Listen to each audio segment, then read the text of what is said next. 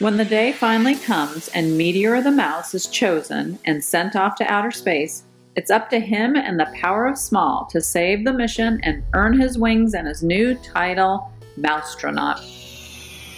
Mousetronaut by astronaut Mark Kelly. Illustrated by C.F. Payne.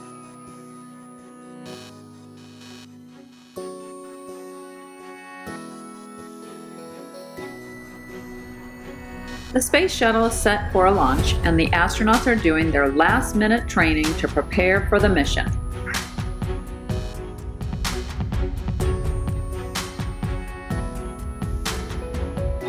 NASA is sending along some special guests for this flight, and they're training too.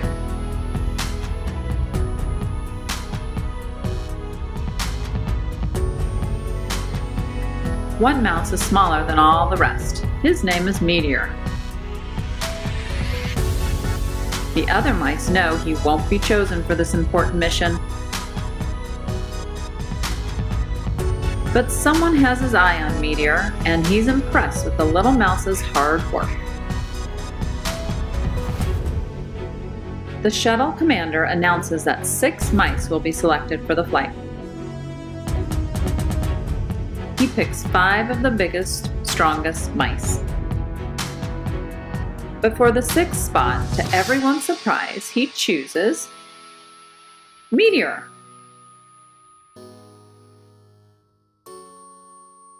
All six are taken to their new home, a special cage called the Mouse Hotel.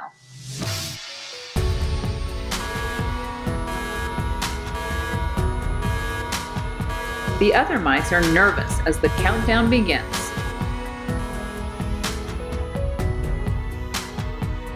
But not Meteor.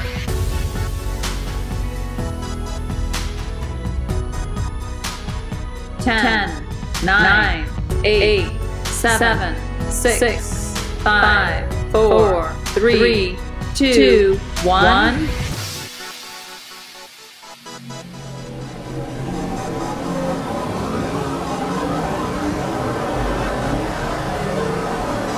Lift, Lift off. off.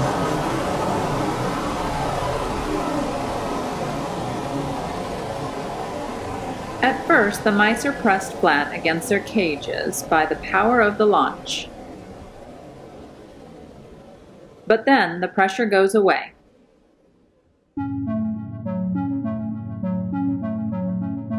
The other mice cling to their cage in terror. But not Meteor. He loves the feeling of weightlessness.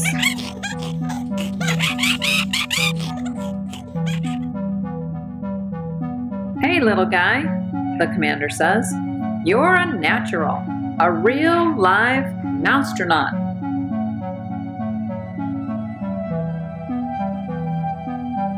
Meteor is taken from his cage and gets a tour of the shuttle.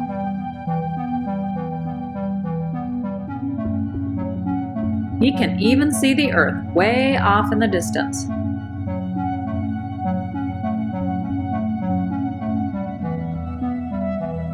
The astronauts are all very busy during the 14 day flight. There are spacewalks to take and experiments to conduct. But what can Meteor do to help?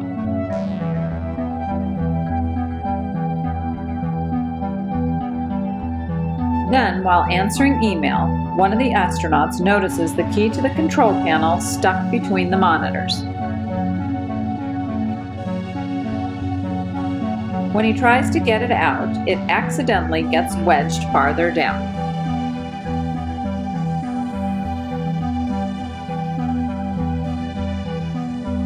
This isn't good, says the commander.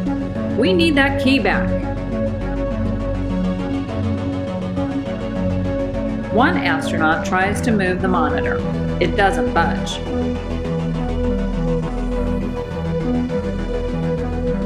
Another slips her fingers into the crack, but the key is stuck down too deep.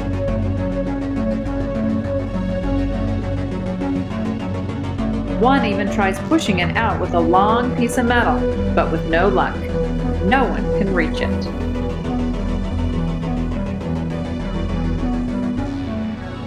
The astronauts are getting worried, but as they discuss the problem, a tiny figure has an idea.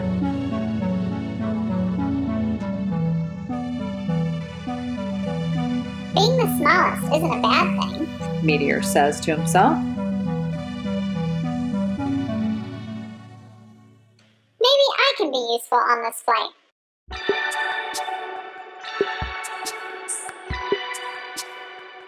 Meteor squeezes his way into the crack.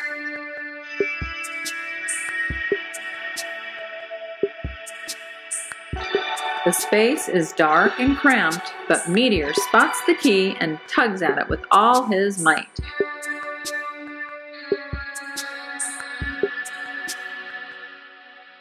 Hey, look what our tiny friend has done, the commander says.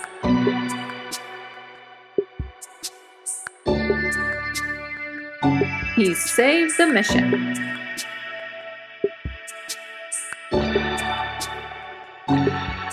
When the shuttle returns to Earth, Meteor is declared a hero. He's even given a brand new uniform and an official title. Mousetronaut.